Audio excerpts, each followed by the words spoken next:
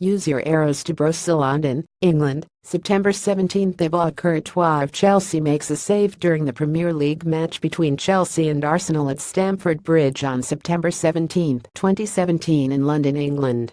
Photo by Mike Hewitt Getty Images Chelsea FC News The Blues had an easy run out against Nottingham Forest in a midweek League Cup game, while several key players were rested which gives a great insight into who will start this weekend. Antonio Conte is likely to start those players that were rested in midweek, while players such as Gary Cahill who play the full 90 minutes may not start. Other players such as Tiémoué Bakayoko and Michy Batshuayi played the full game and so will likely be benched for the game this weekend. Chelsea will be looking to get a win under their belt after their disappointing 0-0 draw with Arsenal last weekend. I expect Conte to name the same team except Rudiger, will come in for Cahill and Christensen will replace the suspended Luiz. The main question however will be if Eden Hazard starts.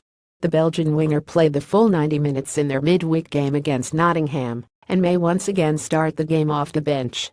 Chelsea have won only two times in their last five Premier League encounters and have drawn two and lost one.